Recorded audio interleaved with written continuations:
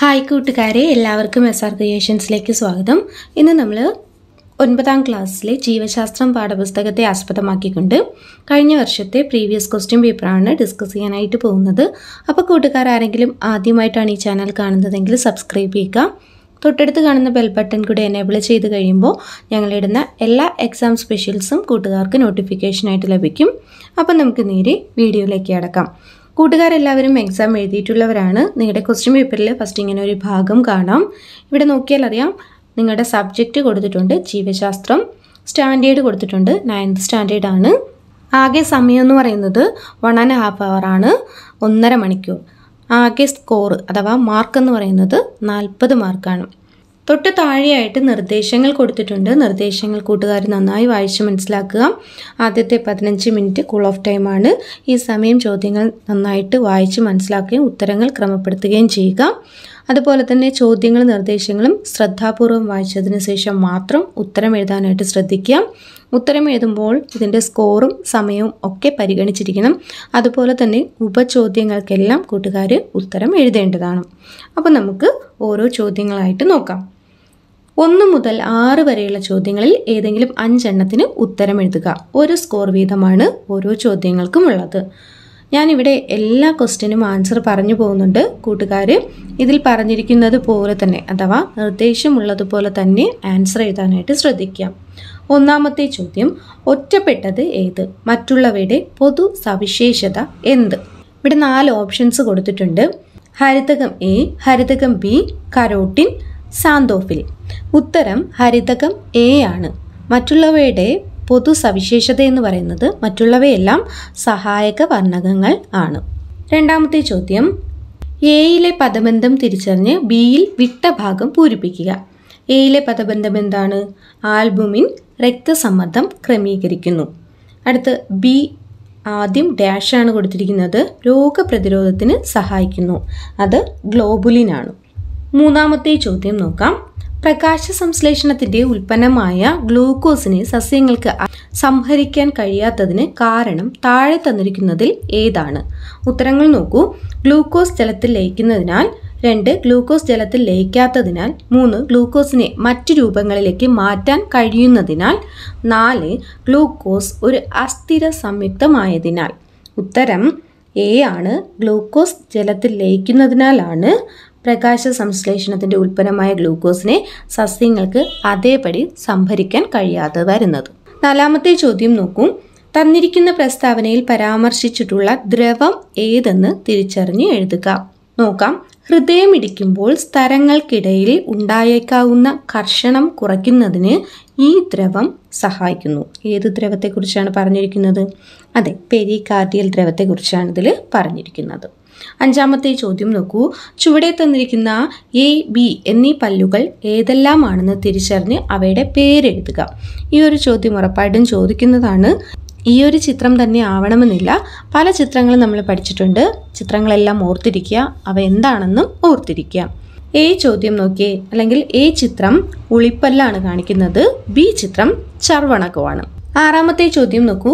താഴെ തന്നിരിക്കുന്നവയിൽ പ്രോട്ടീനിന്റെ ദഹനവുമായി ബന്ധപ്പെട്ട എൻസൈമുകൾ തിരിച്ചറിഞ്ഞ് എഴുതുക. ഈ ചോദ്യം എ നോക്കിയേ.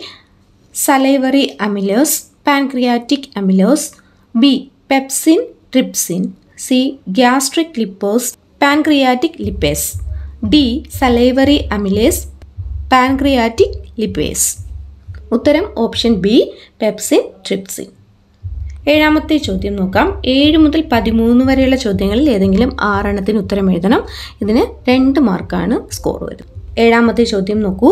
നൽകിയിട്ടുള്ള സൂചനകളിൽ നിന്നും ഉചിതമായവ തിരഞ്ഞെടുത്ത് പ്രകാശ സംശ്ലേഷണ ഘട്ടവുമായി ബന്ധപ്പെട്ട ചിത്രീകരണം പൂർത്തിയാക്കുക. ഈ ഒരു ചിത്രം നമ്മൾ പാഠഭാഗം പഠിച്ച സമയത്ത് പഠിച്ചതായിരുന്നു. നോക്കാം.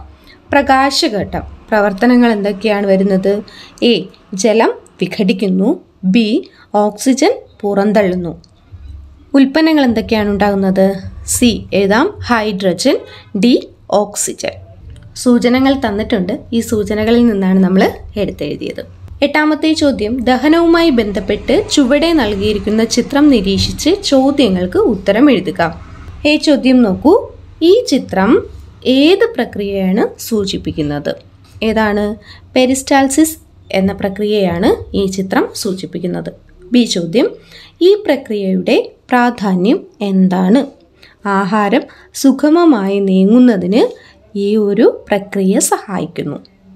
ഒൻപതാമത്തെ ചോദ്യം നോക്കൂ. ബോക്സിൽ നൽകിയിരിക്കുന്ന വിവരങ്ങളെ മാതൃകയിൽ എന്നതുപോലെ ജോഡിയാക്കുക. മാതൃക നോക്കിയേ കിഴങ്ങുവർഗങ്ങൾ അന്നജം അപ്പോൾ ഇനി ഇതിനകത്തുള്ള വിവരങ്ങൾ നമുക്ക് നോക്കാം. അന്നജം എണ്ണക്കുരുക്കൾ പയറുവർഗങ്ങൾ പ്രോട്ടീൻ കൊഴുപ്പ് കിഴങ്ങുവർഗങ്ങൾ ഫ്രാക്കോട്സ് സൂക്രോട്ട്സ് പഴവർഗങ്ങൾ കരിമ്പ്. ഇനി നമുക്കിവയെ പട്ടികപ്പെടുത്താം. അല്ലെങ്കിൽ മാതൃകയിൽ എന്നതുപോലെ നമുക്ക് ജോഡിയാക്കാം. പ്രോട്ടീൻ പയറുവർഗങ്ങൾ പ്രോട്ടീൻ എണ്ണക്കരുക്കൾ കൊഴുപ്പ് പഴവർഗങ്ങൾ ഫ്രക്ടോസ് കരിമ്പ് സൂക്രോസ്. പത്താമത്തെ ചോദ്യം നോക്കൂ. ലാക്ടിയലുകളിലേക്കുള്ള പദാർത്ഥ ആഗ്രഹവുമായി ബന്ധപ്പെട്ട് നൽകിയിരിക്കുന്ന ഒരു ചിത്രമാണ് താഴെ തന്നിരിക്കുന്നത്. ഈ ചിത്രം നിരീക്ഷിച്ച് ചോദ്യങ്ങൾക്ക് ഉത്തരം എഴുതാനാണ് പറഞ്ഞിരിക്കുന്നത്. ഇവിടെ മുകളിൽ നോക്കിയറിയാം. ഗാഠത കൂടുതലാണ്. രണ്ടാമത്തെ ചിത്രത്തിൽ ഗാഠത കുറവാണ്. ഇത് പോഷക ഘടകങ്ങളെ സൂചിപ്പിക്കുന്നതാണ്. ഈ ചോദ്യം നോക്കൂ. പ്രക്രിയ ഏതെന്ന് തിരിച്ചറിയുക. ഏതാണ് ഈ പ്രക്രിയ? അതെ സിമ്പിൾ ഡിഫ്യൂഷൻ ആണ് ഈ പ്രക്രിയ. ബി ചോദ്യം ഈ പ്രക്രിയ വഴി ആഗ്രഹം ചെയ്യുന്ന പോഷക ഘടകങ്ങൾ ഏതൊക്കെയാണ്? ഏതൊക്കെയാണ്? ഫാറ്റി ആസിഡുകളും ഗ്ലിസറോളുമാണ് ഈ പ്രക്രിയ വഴി ആഗിരണം ചെയ്യുന്ന പോഷക ഘടകങ്ങളെന്ന് പറയുന്നത്. പതിനൊന്നാമത്തെ ചോദ്യം നോക്കാം. നൽകിയിരിക്കുന്ന പ്രസ്താവനയെ ഉദാഹരണ സഹിതം സാധൂകരിക്കുക. എന്താണ് പ്രസ്താവന? പ്രകൃതി ദുരന്ത ലഘൂകരണത്തിൽ സസ്യങ്ങൾക്ക് വലിയ പങ്കാണ് ഉള്ളത്. ഉത്തരം നോക്കൂ. കണ്ടൽ ദർഭപുല്ല് മുതലായവ മണ്ണ് ഒലിച്ചു പോവാതെയും തീരം ഇടിയാതെയും ഒരു പരിധിവരെ സുനാമിയെയും തടഞ്ഞു നിർത്തുന്നതാണെന്ന് നമുക്ക് മനസ്സിലാക്കാം. പന്ത്രണ്ടാമത്തെ ചോദ്യം ആഹാരം വിഴുങ്ങുന്നതിന്റെ ഘട്ടങ്ങൾ ക്രമപ്പെടുത്തി എഴുതുക. ഇവിടെ ക്രമം തെറ്റിച്ച് തന്നിട്ടുണ്ട് നമുക്ക് ക്രമപ്പെടുത്തി എഴുതണം. ആദ്യം നമുക്കിത് വായിക്കാം. ഗ്രസനിയിലേക്ക് തുറക്കുന്ന നാസഗഹരത്തെ ചെറുനാക്ക് അടയ്ക്കുന്നു. രണ്ട് നാക്ക് ഭക്ഷണത്തെ അണ്ണാക്കിന്റെ സഹായത്തോടെ അമർത്തി ഉരുളകളാക്കുന്നു. മൂന്ന് നാക്കിന്റെ പിൻഭാഗത്തെ ഭക്ഷണത്തെ ക്ലോമാവിധാനത്തിലൂടെ മുകളിലൂടെ അന്യനാളത്തിലേക്ക് കടത്തിവിടുന്നു. നാല് ശ്വാസനാളം മുകളിലേക്ക് ഉയർന്ന് ക്ലോമപിധാനം കൊണ്ട് അടയ്ക്കപ്പെടുന്നു. ഇനി നമുക്ക് ആഹാരം വിഴുങ്ങുന്നതിന്റെ ഘട്ടങ്ങളെ ക്രമപ്പെടുത്തി എഴുതാം. ഒന്നാമത്തേത് നാക്ക് ഭക്ഷണത്തെ അണ്ണാക്കിന്റെ സഹായത്തോടെ അമർത്തി ഉരുളകളാക്കുന്നു. രണ്ട് ഗ്രസനിയിലേക്ക് തുറക്കുന്ന നാസാഗഹ്രത്തെ ചെറുനാക്ക് അടയ്ക്കുന്നു. മൂന്ന് ശ്വാസനാള മുകളിലേക്ക് ഉയർന്ന് ക്ലോമപിതാനം കൊണ്ട് അടയ്ക്കപ്പെടുന്നു. നാല് നാക്കിന്റെ പിൻഭാഗം ഭക്ഷണത്തെ ക്ലോമപിതാനത്തിനു മുകളിലൂടെ അന്നനാളത്തിലേക്ക് കടത്തിവിടുന്നു. പതിമൂന്നാമത്തെ ചോദ്യം നോക്കൂ. ഹൃദയഭിത്തിയിലെ ഒരു പ്രത്യേക ഭാഗവുമായി ബന്ധപ്പെട്ട സൂചനകളാണ് താഴെ തന്നിരിക്കുന്നത്. അവ വിശകലനം ചെയ്ത് എ കോമ ബി ചോദ്യങ്ങൾക്ക് ഉത്തരം എഴുതുക ഇവിടെ സൂചനകൾ നോക്കാം. വൈദ്യുത സെൽ പോലെ പ്രവർത്തിക്കുന്നു. വലത് ഏട്രിയത്തിന്റെ ഭിത്തിയിൽ കാണപ്പെടുന്നു. ഈ ചോദ്യം സൂചനകളിൽ പരാമർശിച്ചിരിക്കുന്ന ഭാഗം ഏതാണ്? ബി ഇതിന്റെ ധർമ്മം എന്താണ്?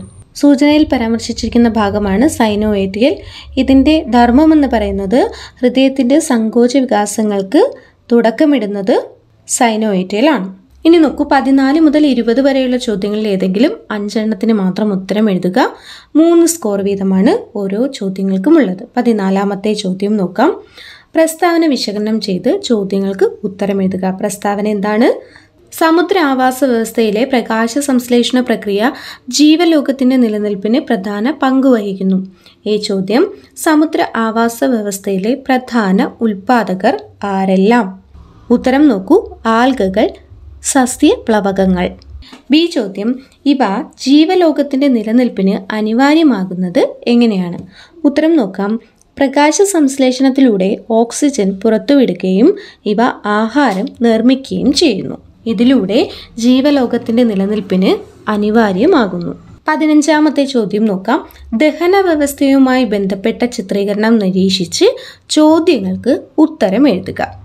ഇവിടെ നോക്കിയാൽ അറിയാം ദഹന വ്യവസ്ഥയുമായി ബന്ധപ്പെട്ട ഒരു ചിത്രം തന്നിട്ടുണ്ട്. നമുക്കിനി ചോദ്യങ്ങൾ എന്തൊക്കെയാണെന്ന് നോക്കാം. ഈ ചോദ്യം എ കോമ ബി എന്നീ ഭാഗങ്ങൾ ഏവ? എ ഭാഗം കരളാണ് ബി ആഗ്നേയ ഗ്രന്ഥി അഥവാ പാൻക്രിയാസ്. ബി ചോദ്യം നോക്കൂ. കൊഴുപ്പിന്റെ ദഹനത്തിൽ എ കോമ ബി എന്നിവയുടെ പങ്ക് എന്താണ്? ഉൽപ്പാദിപ്പിക്കുന്ന പിത്തരസം കൊഴുപ്പിനെ കണികകളാക്കുന്നു. പതിനാറാമത്തെ ചോദ്യം നോക്കൂ. മനുഷ്യനിലെ ദ്വിപര്യനത്തിന്റെ ഫ്ലോ ചാർട്ട് നിരീക്ഷിച്ച് വിട്ടുപോയ ഭാഗങ്ങൾ ഉചിതമായി പൂർത്തിയാക്കുക. നമ്മുടെ ടെക്സ്റ്റ് ബുക്കിലുള്ളതാണ് ഞാനിവിടെ പറഞ്ഞു പോകാം. ആദ്യം നമുക്ക് നോക്കിയാൽ അറിയാം. ഇടത് വെൻട്രിക്കിളാണ് തൊട്ടടുത്ത് എ എന്നൊരു ഓപ്ഷൻ ഉണ്ട്. അവിടെ മഹാധമനി. മൂന്നാമത്തെ തന്നിട്ടുണ്ട് ശരീരത്തിന്റെ വിവിധ ഭാഗങ്ങൾ. അടുത്ത് ബി ആണ് മഹാസിരകൾ അടുത്ത് സി നോക്കൂ. വലത് ഏട്രിയം അതിനുശേഷം തന്നിട്ടുണ്ട് വലത് വെൻട്രിക്കിൾ. അടുത്ത് ഡി നമുക്ക് പൂരിപ്പിക്കാനുണ്ട്. ശ്വാസകോശ ധമനി അടുത്ത് നമുക്ക് തന്നിട്ടുണ്ട് ശ്വാസകോശങ്ങൾ.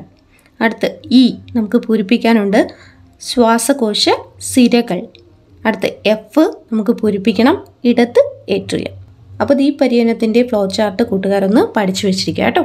പതിനേഴാമത്തെ ചോദ്യം നോക്കൂ. പ്രകാശ സംശ്ലേഷണ പ്രക്രിയയിലെ രാസപ്രവർത്തനങ്ങൾ സൂചിപ്പിക്കുന്ന ചിത്രീകരണം നിരീക്ഷിച്ച് ചോദ്യങ്ങൾക്ക് ഉത്തരം എഴുതുക. അപ്പോൾ പ്രകാശ സംശ്ലേഷണ പ്രക്രിയയുമായി ബന്ധപ്പെട്ട് ഒരു ചോദ്യം ഉറപ്പായിട്ടും ചോദിക്കും. എ ചോദ്യം നോക്കൂ. എ ബി എന്നിവ ഉചിതമായി പൂർത്തിയാക്കുക. എ എച്ച് ടു ഒ ജലമാണ്. B C six H twelve O six glucose ആണ് കേട്ടോ. ബി ചോദ്യം എ ഇലകളിൽ എത്തിച്ചേരുന്നത് എങ്ങനെയാണ്? ഉത്തരം സൈലം കുഴലുകൾ വഴി വേരിൽ നിന്നും ഹൈഡ്രജൻ ഇലകളിൽ എത്തിച്ചേരുന്നു. സി ചോദ്യം അന്നജത്തെ സസ്യങ്ങൾ പ്രയോജനപ്പെടുത്തുന്നത് എങ്ങനെയാണ്? ഉത്തരം നോക്കൂ വിവിധ രൂപത്തിൽ സംഭരിക്കപ്പെടുകയോ ഊർജ ആവശ്യങ്ങൾക്കായി പ്രയോജനപ്പെടുത്തുകയോ ചെയ്യുന്നു. പതിനെട്ടാമത്തെ ചോദ്യം നോക്കൂ എ കോളത്തിനനുസരിച്ച് ബി സി കോളങ്ങൾ ക്രമീകരിച്ച് എഴുതുക. മൂന്ന് മാർക്കാണ്. എ ഉമിനീർ ഗ്രന്ഥി ബിയിൽ സലൈവറി അമിലേസ് സിയിൽ അന്നജത്തെ മാൾട്ടോസ് ആക്കുന്നു ബി ആമാശയ ഗ്രന്ഥികൾ ബിയിൽ പെപ്സിൻ സിയിൽ പ്രോട്ടീനിനെ പെപ്റ്റോണുകളാക്കുന്നു. അടുത്ത സി ആഗ്നേയ ഗ്രന്ഥി ബിയിൽ അത് ട്രിപ്സിനാണ് സിയിൽ പ്രോട്ടീനിനെ പെപ്റ്റൈഡുകളാക്കുന്നു. പത്തൊൻപതാമത്തെ ചോദ്യം നോക്കൂ. പ്രാഥമിക ആരോഗ്യ കേന്ദ്രത്തിൽ പ്രദർശിപ്പിച്ചിരിക്കുന്ന ഒരു പോസ്റ്ററാണ് ഇവിടെ താഴെ തന്നിരിക്കുന്നത്. ഇത് നിരീക്ഷിച്ച് ചോദ്യങ്ങൾക്ക് ഉത്തരം എഴുതുക. അടുത്ത പോസ്റ്റർ വായിച്ചു നോക്കൂ. ആഹാരം കഴിച്ച ശേഷം പല്ലുകൾ വൃത്തിയാക്കൂ. ദന്തക്ഷയത്തിൽ നിന്നും മോചനം നേടൂ. ഈ ചോദ്യം നോക്കൂ. ആഹാരശേഷം പല്ലുകൾ വൃത്തിയാക്കാത്തത് ദന്തക്ഷയത്തിന് കാരണമാകുന്നത് എങ്ങനെയാണ്? ഉത്തരം. ആഹാര അവശിഷ്ടങ്ങളിൽ സൂക്ഷ്മജീവികൾ പ്രവർത്തിച്ചുണ്ടാകുന്ന ലാക്റ്റിക് ആസിഡ് ദന്തക്ഷയത്തിന് കാരണം ഉണ്ടാക്കുന്നു ബി ചോദ്യം നോക്കൂ. ബാഹ്യഘടനയിൽ വ്യത്യാസമുണ്ടെങ്കിലും ആന്തരഘടനയിൽ പല്ലുകൾ തമ്മിൽ സാമ്യമുണ്ട്. രണ്ട് ഉദാഹരണങ്ങളിലൂടെ പ്രസ്താവന സാധീകരിക്കുക. ഉത്തരം നോക്കൂ. ഇനാമൽ എന്ന ബാഹ്യാവരണം. ഇരുപതാമത്തെ ചോദ്യം നോക്കാം. വിവിധ ഇനം രക്തക്കുഴലുകളുടെ പ്രത്യേകതകൾ തന്നിരിക്കുന്നു. അവയിൽ അനുയോജ്യമായവ ഉൾപ്പെടുത്തി പട്ടിക പൂർത്തിയാക്കുക. താഴെ പട്ടികയും തന്നിട്ടുണ്ട്. അപ്പോൾ നമുക്ക് വായിക്കാം. രക്തത്തെ ഹൃദയത്തിലേക്ക് സംവഹിക്കുന്നു. ഒറ്റ നിര കോശങ്ങളെ കൊണ്ട് നിർമ്മിതമായ ഭിത്തി. ഉയർന്ന വേഗത്തിലും മർദ്ദത്തിലും രക്തം ഒഴുകുന്നു. കനം കൂടിയ ഭിത്തി. ഭിത്തിയിൽ അതിസൂക്ഷ്മ സുഷിരങ്ങൾ വാൽവുകൾ കാണപ്പെടുന്നു. ഇനി നമുക്ക് ഇവയെ പട്ടികപ്പെടുത്തി എഴുതാം. പട്ടിക സിര ധമനി ലോമികകൾ. സിരയിൽ രക്തത്തെ ഹൃദയത്തിലേക്ക് സംവഹിക്കുന്നു. വാൽവുകൾ കാണപ്പെടുന്നു. ധമനിയിൽ ഉയർന്ന മർദ്ദത്തിലും വേഗത്തിലും രക്തമൊഴുകുന്നു. കനം കൂടിയ ഭിത്തി. ലോമികകൾ ഒറ്റനിര കോശങ്ങളെ കൊണ്ട് നിർമ്മിതമായ ഭിത്തിയാണ്. ഭിത്തിയിൽ അതിസൂക്ഷ്മ സുഷിരങ്ങളുണ്ട്. ഇപ്പോൾ കൂട്ടുകാരെ നമ്മൾ എക്സാം അറ്റൻഡ് ചെയ്ത് കഴിഞ്ഞു. അപ്പോൾ ഇതുപോലുള്ള ഓൺ ക്വസ്റ്റ്യൻസ് ആയിരിക്കും കൂടുതലായിട്ട് കൂട്ടുകാർക്ക് ചോദിക്കുക. ഒത്തിരി ചിത്രങ്ങൾ നിങ്ങളുടെ ടെക്സ്റ്റ് ബുക്കിലുള്ള ചിത്രങ്ങളെല്ലാം പഠിച്ചു വെച്ചിരിക്കുക ചിത്രങ്ങളിൽ കൊടുത്തിരിക്കുന്ന ഭാഗങ്ങൾ അടയാളപ്പെടുത്താനായി പഠിച്ചു വെച്ചിരിക്കുക അവയുടെ പ്രത്യേകതകൾ അതുപോലെ സവിശേഷതകളൊക്കെ മനസ്സിലാക്കി വെച്ചിരിക്കുക ചിലപ്പോൾ ചിത്രങ്ങൾ തന്നിട്ട് ഇത് ഏത് ഭാഗമാണെന്ന് ചോദിക്കാം. അതിന്റെ സവിശേഷതകൾ ചോദിക്കാം. അപ്പോൾ ഇതെല്ലാം കൂട്ടുകാർ പഠിച്ചു വെച്ചിരിക്കുക കൂടുതലും അത്തരത്തിലുള്ള ചോദ്യങ്ങളായിരിക്കും നിങ്ങൾക്ക് ഉണ്ടാവുക. അപ്പോൾ ക്ലാസ്സുകൾ ഇഷ്ടമായെങ്കിൽ ലൈക്ക് ചെയ്യുക. നിങ്ങളുടെ ഫ്രണ്ട്സിന് കൂടെ ഷെയർ ചെയ്ത് കൊടുക്കുക. നെക്സ്റ്റ് എക്സാമുമായിട്ട് നമുക്ക് ഒരുമിച്ച് കാണാം. താങ്ക്